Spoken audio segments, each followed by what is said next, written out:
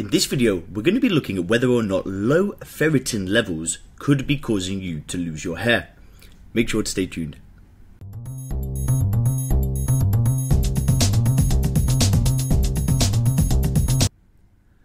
Hey guys, Leon here and welcome to the Hair Guard YouTube channel. On this channel, we do tons of science-backed videos all about how you can combat hair loss and regrow healthy hair. If you are new to the channel, do consider subscribing. If you're worried about your hair loss, you can click the link in the description to take the HairGuard hair loss quiz. You'll have to answer a few short questions, then you'll receive free expert advice on how to combat hair loss and regrow healthy hair. It's the very first link in the description, so go and click that now. So we're going to get into the video on low ferritin production. Now, one of the well-known underlying causes of thinning hair and receding hairlines is having an iron deficiency. One way to measure iron in the human body is to take the ferritin levels, which can correlate to the amount of iron the body stores. Ensuring your body maintains appropriate ferritin levels will help prevent the onset of further loss of hair in some cases. Low ferritin levels can preclude more serious health conditions and should be addressed. So guys, first things first, what is a low ferritin condition? According to the Mayo Clinic, having low ferritin levels is essentially having low iron in your blood. Ferritin is a blood cell protein that contains iron, and a test that shows low ferritin can help medical professionals understand how much iron your body is storing. Anemia is a serious medical condition, and having low ferritin levels can be a sign of iron deficient anemia, which may also be a precursor to hair loss. Low ferritin can occur for a variety of reasons, including inadequate intake or nutritional deficiency, malabsorption due to disease or the body's reduced capacity to absorb iron, excessive loss of iron through various issues, including menstruation and gastrointestinal losses, and functional iron deficiency, in which iron is stored but not adequately supplied to the bone marrow. If you believe your hair loss might be associated to issues of low ferritin, it will require a blood test to make that determination and then some medical work uh, work up to understand what is actually causing the iron deficiency in the body. So let's say that you've got low ferritin or you presume you've got low ferritin, how exactly would that impact your hair? Well, having low ferritin levels or being iron deficient has been shown to cause thin, lifeless hair. Iron deficiency can lead to anemia, which puts the body in a state of survival and causes accessory functions such as maintaining and growing hair to cease. While losing small amounts of hairs on a daily basis is normal, having low ferritin levels can accelerate symptoms of hair loss and thinning hair. Now, hair is unable to grow in a healthy manner and is likely to fall out before reaching any significant length, which leads to individuals complaining of ability to only grow short hairs in some areas. As hair is merely falling out prematurely, this issue is reversible once the levels of ferritin are addressed within the individual. In the 2013 article, which we will link for you in the description, Iron plays a certain role in pattern hair loss, the authors discussed their research on the role of low ferritin in hair growth. As hair is consistently proliferating organ, it requires sufficient blood supply to grow full, long and healthy. The researchers found that when matched for age and sex, those individuals with low ferritin were more likely to have symptoms of thinning hair. Now, participants who took an iron supplement to address low ferritin levels showed improvement in hair density and hair length when compared to the control group.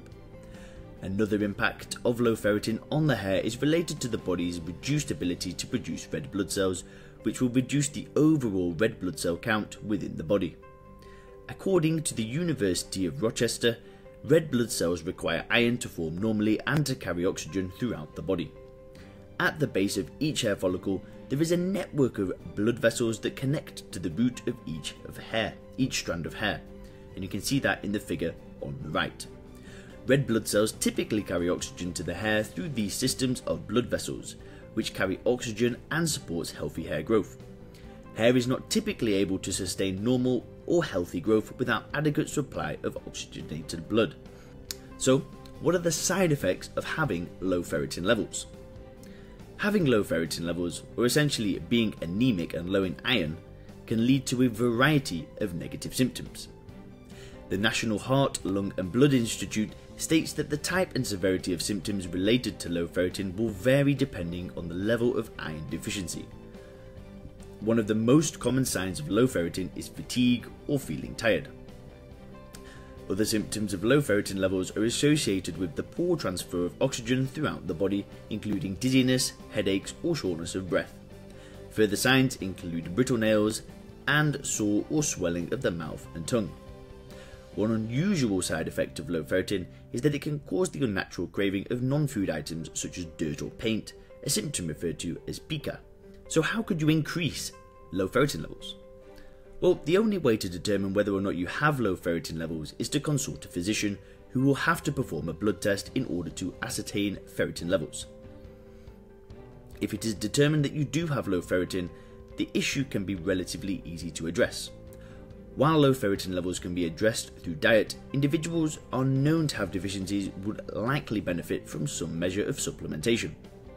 There are many ways to increase the ferritin levels in your body, including eating foods with high levels of iron and taking prepared supplements that are available on the market or in the form of a prescribed medication. Numerous common food items have varying levels of iron, many of which can be incorporated into a healthy diet. While there are supplements and medications to help increase ferritin levels in the body, this should be done so in consultation with a medical professional. Eating a healthy diet high in iron and other essential nutrients will help support positive overall well-being which reduces the symptoms of hair loss and hair thinning associated with anemia and a poor diet.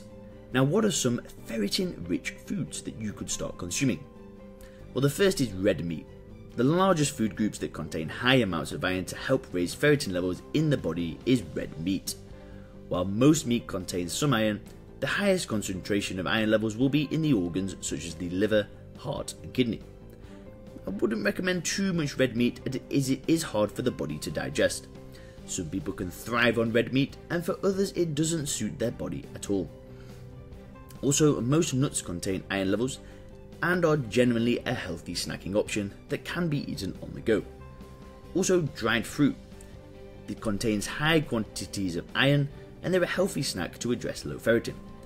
And finally, we've got iron fortified foods. Now, many foods have had iron added during the production, a simple means to address low levels of ferritin in many people. Many breakfast cereals and enriched flour have been fortified with iron. Now, having low ferritin levels can be a sign of a more significant health issue, but may also lead to hair loss or hair thinning without progressing to more serious cases of iron deficient anemia. There is significant evidence to suggest that low ferritin levels may be associated with hair loss as it can affect blood flow and oxygenation of the hair follicle.